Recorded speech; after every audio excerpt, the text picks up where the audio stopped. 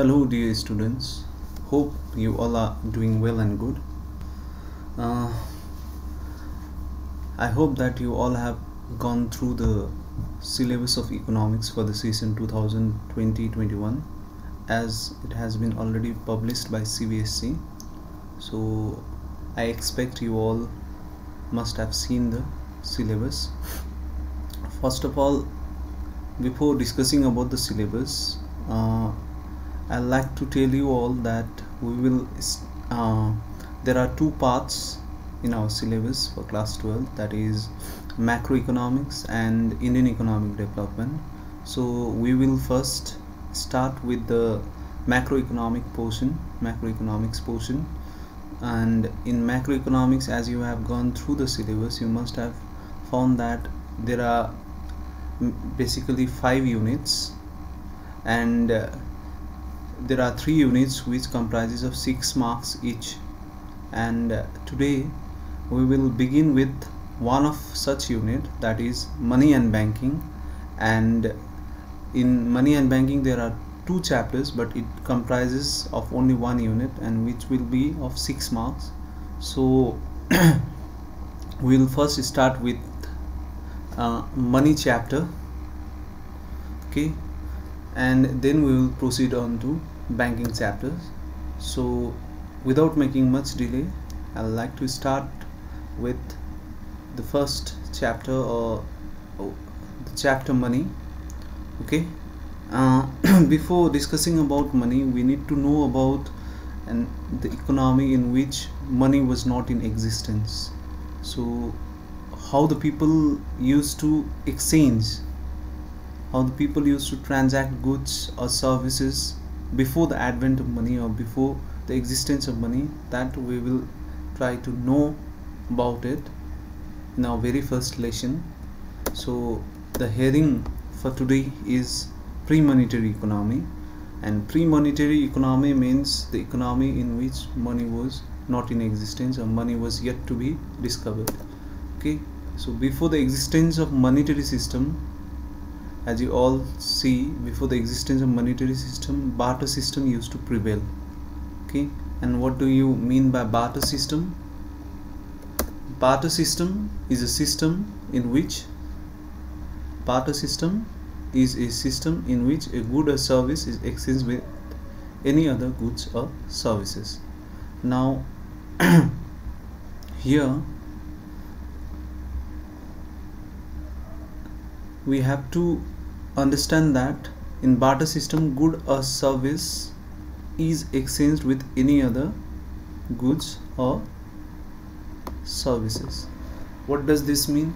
Let us take an take a very simple example of this. Let's say in barter system what used to happen was for example say if a person say person A is having a good let's say potatoes with him then he will have to find someone who wants to take his potatoes and give the onions which he is willing to exchange with. Okay so in case of barter system what used to happen was goods were exchanged against let's say potatoes were exchanged against onions or onions were exchanged against let's say a haircut etc okay so there was no common medium of exchange in case of barter system. People used to exchange goods according to their needs and they used to exchange one goods with another. But there were certain limitations of this system that is barter system. So we will discuss about those limitations of barter system before going into the monetary economy. Okay? So what were the limitations of barter system? The very first limitations of barter system is that there was no common medium of exchange so the problem of double coincidence of wants used to arise. Okay so what do we mean by no common medium of exchange? No common medium of exchange means if we compare barter system with the monetary system which is prevailing right now we see that in barter system let's say a person named Ram okay is growing potatoes and he wants to exchange potatoes with onions okay. And let's say Shyam is growing onions but he doesn't want to exchange his onions with the potatoes which is being offered by Ram. Then the exchange did not used to take place in barter system okay this very problem is known as the problem of double coincidence of wants double coincidence of wants means a person who is willing to offer his goods or services to another person then that other person should also be willing to exchange his goods or services with the goods being provided by the first person. Here Shyam does not agree with what Ram is offering. So the exchange could not take place now if we compare it with the economy which is prevailing right now that is the monetary economy then we clearly find that if Ram wants to purchase anything what he will do is he will simply sell potatoes in the market against some money. Here money may be in the form of any currency. In case of India it will be rupees. In case of mm, Bangladesh it will be taka. In case of uh, USA it will be US dollar in case of England it will be pound so on and so forth okay? So what happens is Ram will sell his potatoes okay in the market against some money offered to him and then Shyam, uh, Ram will use that money to purchase anything which he wants. So the very problem of double coincidence of wants has been easily solved in the monetary economy now we will move on to the next limitations of barter system. That is there was problem of common unit of account. What does this mean? The common unit of account or the unit of account? Now for this also we have to take one simple example. Uh, I'll take an example of three people and three products okay?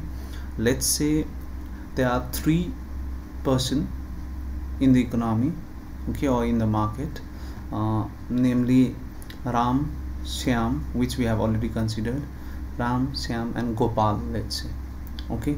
Now Ram is offering or Ram is growing potatoes and offering potatoes for exchange okay.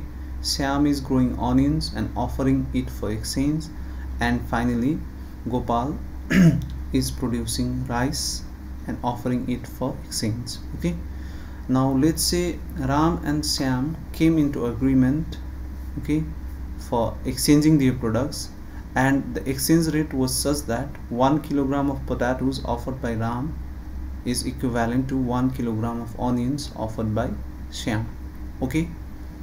Fine this was the first agreement for exchange.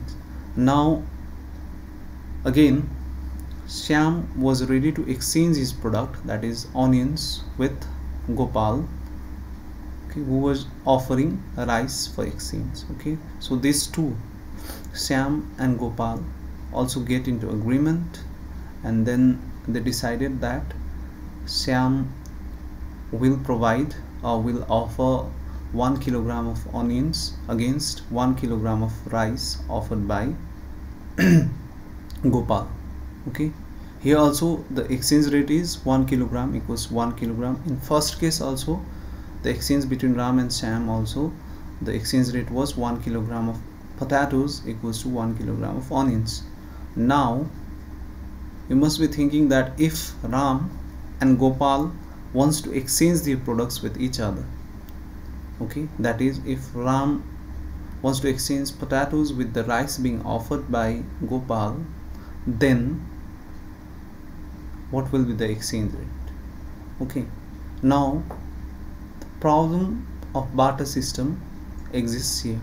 In barter system the exchange rate was decided upon the needs of the person who were ready to exchange.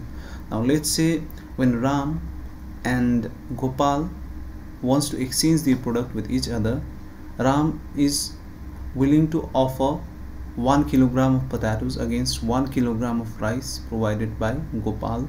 But Gopal is not ready to exchange. Okay Gopal wants Ram to offer 2 kilograms of potatoes against the 1 kilogram of rice offered by Gopal. Okay why is it so? It is so because gopal is not that much in need of potatoes. He is not desperately wanting potatoes on the other hand ram is in desperate need of rice. So he will happily agree to offer 2 kilograms of potatoes against 1 kilogram of rice offered by gopal. Now if we compare this third case with the previous two cases we will see that in the same market there are two exchange rates prevailing. That is in the first and second case if we draw a conclusion then we can easily say that one kilogram of potatoes would have been exchanged with one kilogram of rice but in reality it did not happen because Gopal was not ready to exchange 1 kilogram of rice against 1 kilogram of potatoes. So what finally happened in third case is that the exchange rate was 2 kilogram of potatoes equals to 1 kilogram of rice. So in the same market we see that there are two units of measurement. 1 kilogram equals 1 kilogram and 2 kilogram equals to 1 kilogram. Okay? So this was the main problem with barter system. Okay? The two exchange rates or the two unit of measurement were there. Okay? Or more than one unit of measurement used to prevail. So how is this problem solved in monetary system now? In monetary system we easily see that if someone has 20 rupees in his pocket and the market rates are such that 1 kilogram of rice equals to 20 rupees 1 kilogram of potatoes is 20 rupees and 1 kilogram of onions is 20 rupees then that particular person can either buy 1 kilogram of any of the product or what he can do is he can purchase half half kilogram of either onions or potatoes or onions or rice or potatoes or rice okay. So this is how the problem common unit of account is solved in case of monetary system. In case of monetary system that common unit becomes money itself. Okay. So wherever you go in the market the money is readily acceptable and we base the value. Everywhere we try to base the value in terms of money itself. Okay. We see that all the goods are priced in terms of money nowadays okay? So there is no exchange rate nowadays in terms of one product with another product. So this is how the problem of common unit of account was solved in case of monetary economy now we will move on to the next limitation of barter system that is storage of value or storing the value okay? The second third limitations of barter system is storing the value of a product or service. For this also we will take one example. Uh, let's say a person who is a jeweler okay who produces or manufactures gold uh, rings or say gold necklaces and all. And there is a person who produces tomatoes okay.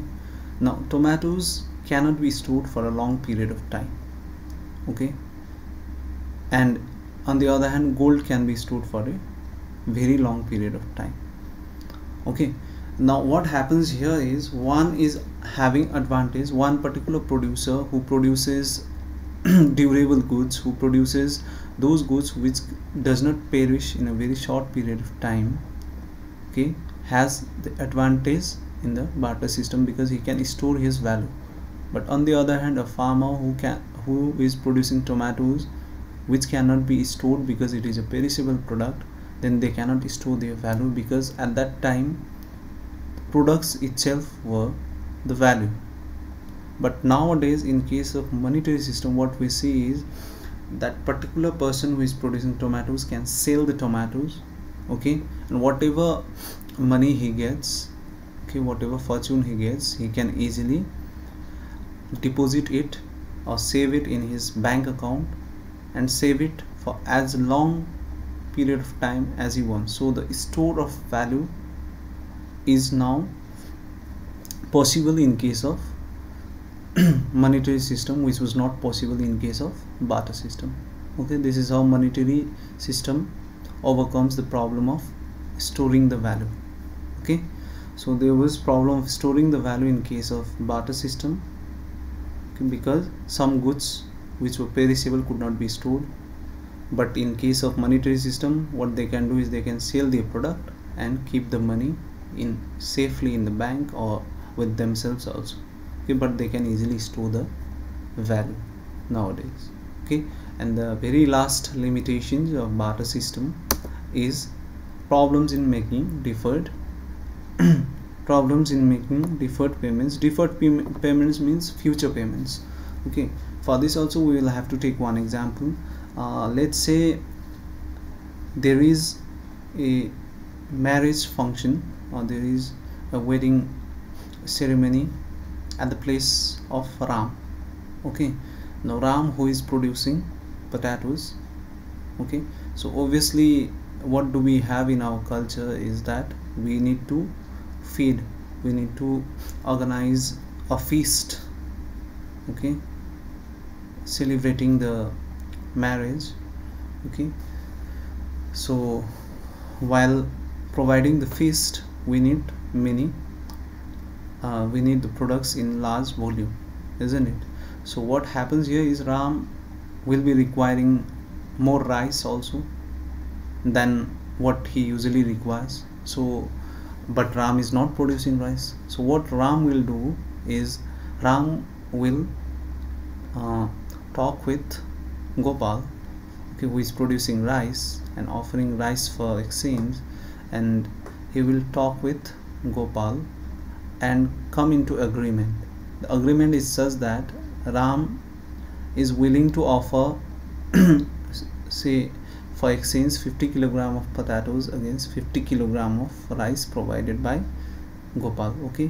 And Ram has further promised Gopal that he will be giving 10 kilograms of potatoes in extra as an interest to Gopal okay? Now they have come into agreement. Gopal agreed with Ram and he offered 50 kilogram of rice to go, uh, Ram against the 60 kilograms of potatoes that is 50 kilograms plus 10 kilograms extra let's say it's an interest okay? Fine. And they came into agreement and happily Ram accepted the agreement and Ram brought 50 kilograms of rice to his home and organized the feast very nicely and Ram had promised Gopal that he will be repay, repaying his loan that is in the form of product after one year now let's move on to the next year next year after one year though Ram is willing to offer 60 kilograms of potatoes to Gopal, but what will Gopal do with those 60 kilograms of potatoes? Because there is no such feast at his home. So what will he do with this 60 kilograms of potato? So he may ask Ram to repay him in some other forms. So here the problem arises. Okay, there used to be very there used to be a huge problem in case of barter system as the future payments were concerned okay one may agree right now regarding the exchange rate in future but in future that particular person may not be in need of those products so he may refuse to accept those products but if we compare that in with monetary system in monetary system what happens everything is expressed in terms of money. Now let's say there is a marriage function at the place of ram in monetary system and ram is in need of money okay? Because a huge amount of money is spent in wedding uh, ceremony or marriage ceremony. So what happens here is ram is looking for money and Ram finally convinces Gopal to give him or to lend him 10,000 rupees okay? And he has agreed with Gopal that he will be repaying his loan or he will be repaying his debt within one year and he will be giving 10% uh, interest on 10,000 rupees. That is he will be giving 1000 rupees extra after one year. Okay finally he will be giving 11000 rupees after a year's time period. Okay now here what happens is after one year after one year Gopal will happily accept the money because it is easier to make future payment in terms of money. So nowadays we see that taking and giving loans has become much easier which was not the case if we this uh, it was not the case in case uh, it was not the case in case of barter system. So these were the limitations of barter system and as a result of this uh, people were constantly looking for some other medium of exchange some other forms of exchange and finally we reached into the monetary system and money came into existence. Okay so these were the limitations of barter system and we have discussed about the pre-monetary economy basically the barter system today. Okay hope you all have understood the limitations of barter system and what were the problems in barter system and why there was the need for money. So we will discuss about money in our next lecture. Till then stay safe stay home. Thank you very much. Thank you